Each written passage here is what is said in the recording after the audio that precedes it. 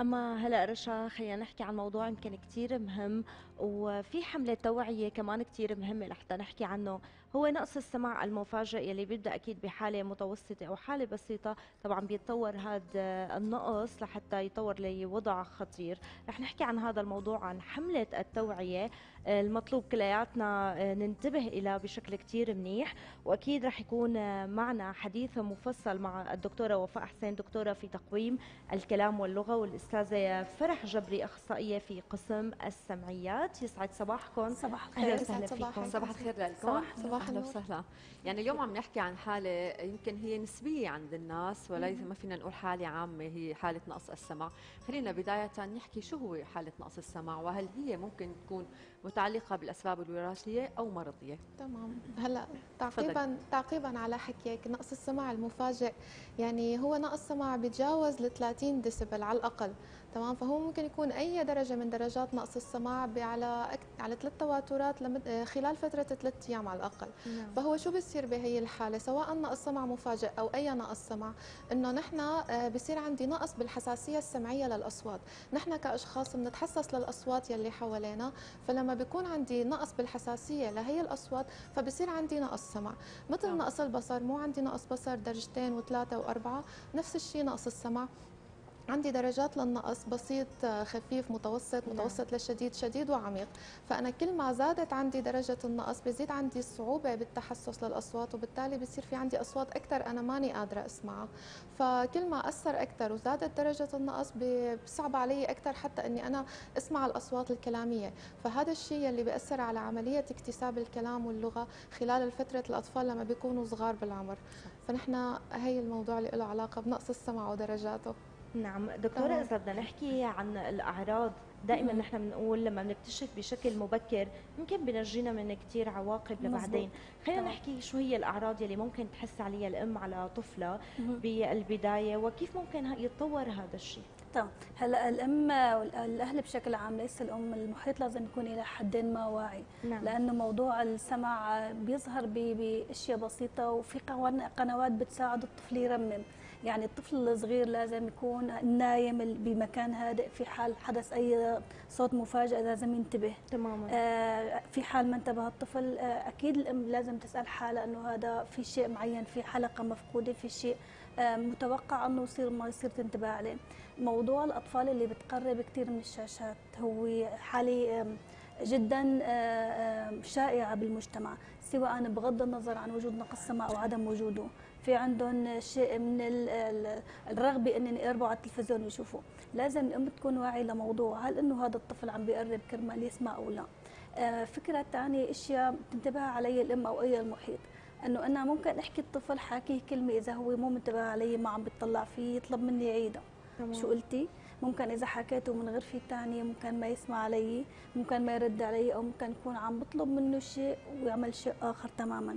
هلأ آه هو إلى حد ما شيء آه، مشوش لأنه أنا ممكن عم بسمع كلامكم 100% في في أشخاص ثانيين ممكن عم بيسمعوا أجزاء من كلامكم.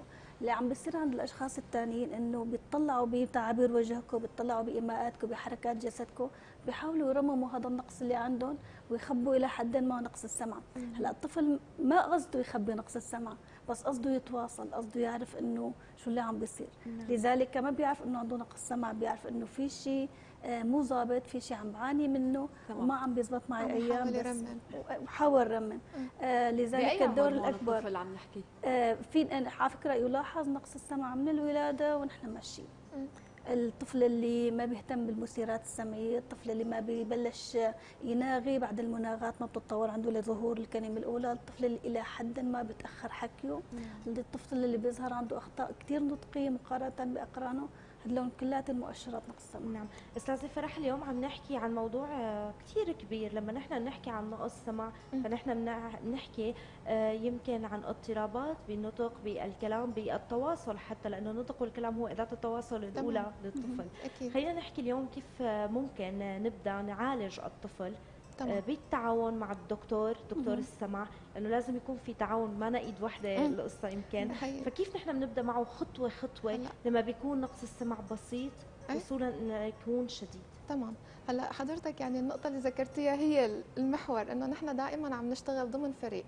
تمام الطفل بيصل لعنا على قسم السمعيات آه نحن في عنا اختبارات كاملة لكل الأعمار ولكل الأنواع الشكوى مشان نحن نوصل للتشخيص المناسب حسب العمر وحسب القدرة على التعاون معنا نعم. يعني هو مبدأ تخطيط السمع إنه أنا أعطي صوت وآخذ جواب ففي عندي اختبارات بتسوي لي هالشيء بشكل سلوكي وفي عندي شغلات بشكل موضوعي ما لها علاقة بسلوك الشخص هذا الشيء يعني. طبعا حسب عمره تمام؟ فأنا بس وصل لنتيجة إنه أنا أخذت تشخيص لهي الحالة وكان الطفل عنده نقص سمع أو البالغ أو بأي عمر نحن عم نحكي. فنحن هون بنتوجه باتجاه إنه نحن آه، استشارة مشان معاينات سمعية تمام؟ نحن لازم نختار معينه سمعية مناسبة لدرجة نقص السمع وتكون معايرتها صحيحة. لأنه يعني الشخص لو معه أحسن معين سمعي بالعالم إذا برمجته ما صح فهو ما رح يستفيد منه أو رح يرفضه لأنه ما حيكون مرتاح عليه. هلأ متى ما نحن ضبطنا الوضع السمعي لنصل للمستوى الوظيفي فساعتها بنروح لاختصاصي تقويم الكلام واللغة مشان نشوف عملية التأهيل كيف حتصير. إذا كان الطفل في عنده مشاكل مرافقة فنحن الفريق بيتوسع أكثر ممكن يشمل طبيب الأذنية طبيب العصبية طبيب الأطفال إذا احتجنا طبيب قلبية طبيب آه، عيون آه، أي شخص بتحتاجه الح- الحالة يلي معنا فنحن الفريق بيتوسع أكثر لحتى يشملها. طبعا إذا الطفل ما استفاد على المعاينات السمعية ابدا أو كانت ما في استفادة كافية فهون نحن بنروح باتجاه زراعة القوقعة، زراعة القوقعة هي الخيار البديل آه، لما نحن الإذن يعني الخلايا الموجودة بالإذن ما عم تقدر تقدم شيء كافي بالبقايا بالحالات الشديدة المتفاقمه في العميق.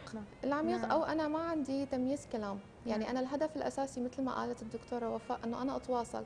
فإذا المعين السمعي أعطاني سمع بس ما كان يعني كان الصوت مشوه وأنا ما قدرت أتواصل بشكل صحيح فهون حلي البديل إنه أنا أروح على زراعة القوقعة. تمام.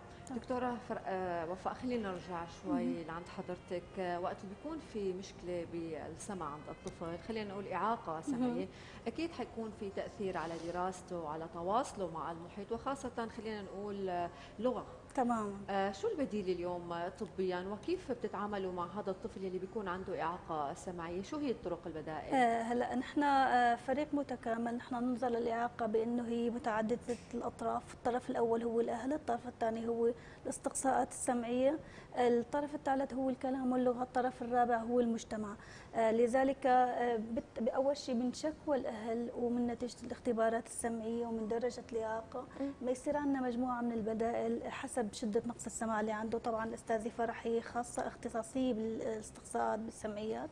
هي أقدر إنها تحكي بالموضوع. بيتم اختيار المعين السمعي المناسب له آه، بيتم ضبط هذا المعين ومعايرته بشكل دوري وبيوجهوه للتدخل ال- الأنسب والتدخل اللي هو مسرع كرمال. نحن نحاول قدر الإمكان هذا الفاقد اللغوي اللي راح عليه وهو ما عم بيسمع.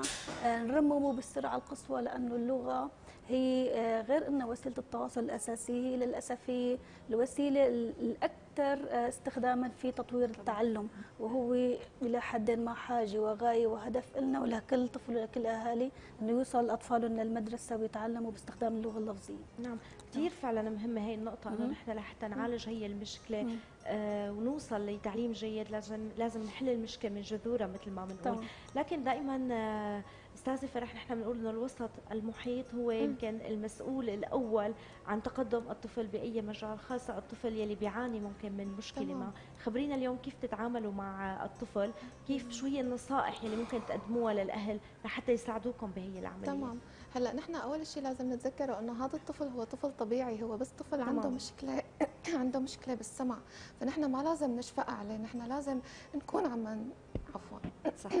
نحن لازم نكون عم نساعده لحتى يقدر يوصل للي هو بده يحققه. فنحن لازم نتبناه ولازم نحن يعني نتعاون كلياتنا مع الفريق مع الأهل مع كل المحيط يلي هو يعني محيط ممكن فيه. أول تنبيه يكون للأهل عاملوا إنه هو طفل طبيعي عنده تمام. مشكلة صغيرة ما لازم نشفق. عليه ما لازم ندلله زيادة ما لازم شو ما بده ياخده. عرفتي شلون؟ فنحن لازم دائما نتذكر إنه هو بوعيه كامل. تمام نحن لازم نتعاون مع الفريق ومع الأهل لحتى نحن نقدر آه، نساوي الأهداف يلي نحن حاطين له إياها فأول شيء نحن منت... يعني الاتفاق هو مع الأهل لأنه الطفل نحن بنشوفه إذا ساعة باليوم فهو 23 طبعاً. ساعة الباقية بالبيت تمام. فكل النصائح يلي بنعطيها للأهل بأي قسم كان فنحن يعني من نتأمل إنه هن يلتزموا فيها وإذا شو عندهم أي أسئلة نصائح غير إنه نعامله بشكل أول طبيعي. شيء أي شيء بياخده بالجلسة الكلام واللغة فهو لازم يتعمم بالبيت.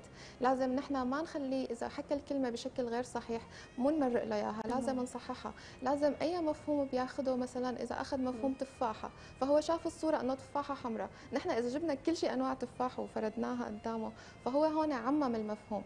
هي هي المقصود. إذا مثلا نحن بقسم السمعيات طلبنا منه آه، كيف يستخدم المعينة السمعية فنحن بنطلب بنعلمه كيف يستخدمها كيف يغير بطارياتها قديش لازم يحطها باليوم. فهاي كلياتها نصائح وتوجيهات نحن بنتأمل إنه يلتزم فيها الأهالي مشان نحن نوصل لفائدة أسرع.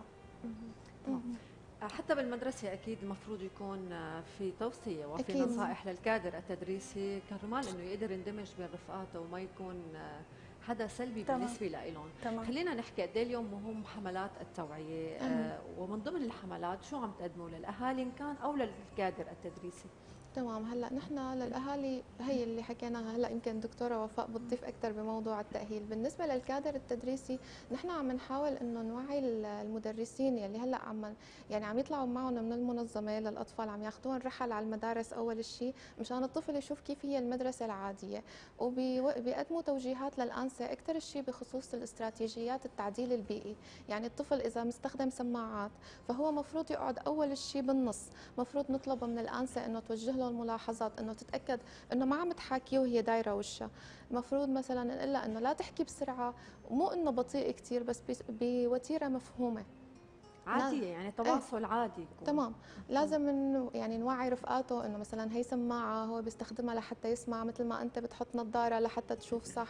لازم نختار له أهم شيء إنه مكان جلوس مناسب بعيد عن الضجيج ون... آه، ونورجي الانسه كيف هي لازم تتواصل معه. تمام. هلا بالنسبة لموضوع الدمج الأطفال بالمدارس خاصة بالمدارس لأنه بالمجتمع هن بيلاقوا وسيلتهم للتواصل. بالمدارس في لها خصوصية معينة اللي هي موضوع القراءة والكتابة اللي بنستخدم فيها لغة فصحى غير اللغة اللي بنحكيها. هلأ هون إذا بدنا نحط المسؤولية للمدرسة كلياتها أو للطفل كلياته نحن عم نكون إلى حد ما عم نطلع بالموضوع بجزئية. الطفل اللي عنده إعاقة سمعية له آه، واجب تجاه نفسه والرفقاته لهم واجب والإدارة بشكل عام والمرشد النفسي له واجب. هلأ من واجب الطفل إنه أول شيء يبلغ عن إعاقته. إنه أنا عندي إعاقة سمعية هذا المعين السمعي اللي بستخدمه هو مهم جدا إلي لا اتواصل أنا عندي آه، نقص معين بتمنى منك أنتم يا رفقاتي لما بدكم تحاكوني تطلعوا بوجهي. نعم. لأنه أنا إذا عندي أي نقص برممه من وجهكم. بتمنى تكون سرعتكم إلى حد ما معتدلة أقدر أسمعها وأقدر أعالجها.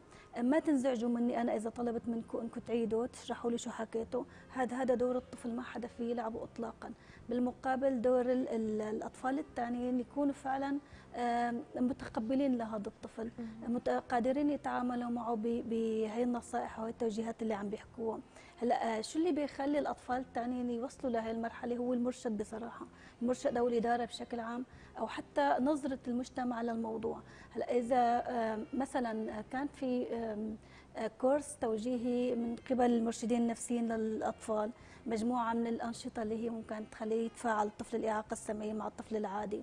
ممنوع مجموعة من الأنشطة المصممة كرمال يندمجوا مع بعض أكثر بيكون الموضوع يعني مضبوط من جميع الجهات بتكون النتيجة أفضل. نعم لأنه أكيد. هي ما هي واجب أنسة ولا هو واجب إدارة ولا هو دكتورة بتحسي إنه نحن اليوم فعلا وصلنا لدرجة الوعي إنه نحن فعلا نتعامل بطريقة راقية بطريقة آه، فعلا نحن فهمانين كل خطورة إنه نحن ما نعرف المشكلة اللي قدامنا. لما بيكون في طفل عنده مشكلة بالسمع بصير بعض الأوقات تنمر من قبل اصدقائه وهذا الشيء بنلاحظه يمكن بأغلب المدارس بكافه المراحل العمرية. للأسف من عمر صغير بنشوفها للأعمار تمام. الكبيرة للمراهقة. فهون قد إيه مثل ما بنرجع بنقول نحن الوسط المحيط قديش دعم المدرسة قديش وقف التنمر وإنه نعطي كمان جلسات إرشادية للأطفال إنه التنمر ممنوع خلينا نحن نخلص منه بشكل كامل. قد إيه هذا الشيء مهم كثير لدعم الطفل ونساعده إنه يخلص من هي المشكلة؟ 100% على فكرة نحن بنسأل حالنا إنه نحن عم نقدم كل شيء للطفل. هل هو راضي؟ عن جد راضي عن نفسه. هل هو حقق ذاته؟ هل في شيء ثاني نحن غافلين عنه؟ نحن ما فينا نقيس هالمواضيع من إلا من وجهة نظره. طالما هو صغير ما بيقدر يعبر عن الموضوع بشكل كامل. لذلك تعالوا لنشوف نحن كمجتمع. المجتمع هو متعدد. هو متعدد الشرائح متعدد الأعمار متعدد الأفكار. وفئات الأطفال اللي عندهم إعاقة. ليس الأطفال بشكل عام هم فئة قليلة. لسه ما تعود كامل المجتمع إنه يطلع على الموضوع. علي الجزء الأكبر هن للأطفال اللي عندهم إعاقة أو الأشخاص اللي عندهم إعاقة يقدموا حالهم يثبتوا حالهم بشكل آه، كفؤ تماما. والجزء الثاني اللي الناس اللي هي بتعرف شو يعني إعاقة سمعية وبتعرف شو حدودها وشو مخاطرها وشو متطلباتها وشو آه، أقصى حد ممكن توصله هي لازم تقرب وجهات النظر ما بين المجتمع وما بين الاطفال الأشخاص اللي دكتوره أنت بتشجعي على الدمج؟ أنت مع الدمج دكتورة ولا نحن نبقى مشان نخلص يمكن أو نختصر مشكلة التنمر؟ الأشخاص أو الأطفال اللي عندهم بعض المشاكل سواء بسيطة أو كبيرة يكونوا مع بعض؟ شو هلا شوفي تعالي لنناقش الموضوع من منظور مختلف. لنفترض انه طفل عنده إعاقة سمعية شديدة عميقة وما حط معين سمعي وصار عنده صمم. واستخدم لغة الإشارة بشكل عام وراح على مدارس تعتمد اللغة الإشارية. بتعلم وبتواصل وبيكون عنده مجتمعه. هي ما ما في حدا يتنمر عليه ضمن مجتمعه لأنه هو ضمن مجتمع واحد. تماما. هلأ الفكرة الثانية اللي هي إنه درجة الإعاقة السمعية إذا كانت قليلة ونحن حابين نخليه يحكي يحكي ويفوت على مجتمع يحكي يتواصل لفظيا. آه هذا الموضوع اللي هون هي, هي المشكلة. آه نحن اللي بدنا نكون عم نساعد الاهل لناخذ القرار. هل هو الأأمن أنه فعلا يكمل بموضوع اللغة اللفظية لأنه قدراته منيحة؟ أو الامن يروح باتجاه تواصل كلي إشارة هون ممكن بيقدرها الطبيب والأخصائي حسب حالة الإعاقة أو تمام. درجة الإعاقة. آه بسؤال هيك أخير اليوم من خلال عمليات الدمج ضمن مم. المدارس كيف كانت النتائج؟ يعني شو لمستوا؟ إنه اليوم نحن فكرة ثقافة الوعي وعدم التنمر موجودة مم. بين حتى بين أطفالنا يعني أو كان عندكم بعض الحالات اللي ممكن صار عليها تنمر أو صار عندها هيك مشاكل ضمن مم. عملية الإندماج؟ آه، نحن يعني لننطلق من فكرة أن المجتمع هو شيء غير مضبوط هو شيء غير محدود الاتجاهات.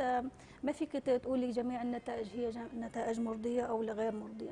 آه، الطفل اللي عنده إعاقة سمعية مثله مثل أي طفل ثاني معرض. ليكون عنده أصدقاء ليكون عنده ناس بتحبه ليكون في تنمر أمر طبيعي يعني. آه، الشيء الثاني اللي, اللي عم نتعرض عليه أكثر هو موضوع اللغة اللفظية اللغة الفصحى. اللي هي لغة جديدة مفاهيم جديدة عم عم تصير للطفل اللي عنده إعاقة سمعيه ما عم بفهمها هي عم تسبب له نوع من أنواع التأخر عم بحس حاله غير قادر إنه يندمج غير قادر إنه يتعلم بسرعتهم. يعني عم تكون هي سبب إضافي إلى موضوع عدم آه، وعي الناس الثانيين أو الأطفال الثانيين أو المحيط بموضوع الإعاقة السمعية. آه، تجاربنا إلى حد ما ناجحة. إنما من الخطأ تقولي إنه ممنوع يتنمر حدا أو ما حصل أي تنمر. لأنه هو مثل مثل اي طفل ثاني يعني خاضع لجميع الاحتمالات. آه، أكيد هو معلومات كثير مهمة وهو حالة نحن بحاجة لوقت أكثر بدنا نشكر اليوم حضوركم معنا. آه، ضمن صباحنا لليوم الدكتورة وفاء حسين دكتورة في تقويم الكلام واللغة والأستاذة فرح جبري أخصائي في قسم السمعيات. صباح الخير لكم. عن جد وشكرا لكم. شكرا شكرا. لكم مرة ثانية ولجهودكم وبنتمنى أكيد أطفالنا يكونوا دائما بألف صحة خير وسلامة. شكرا لكم.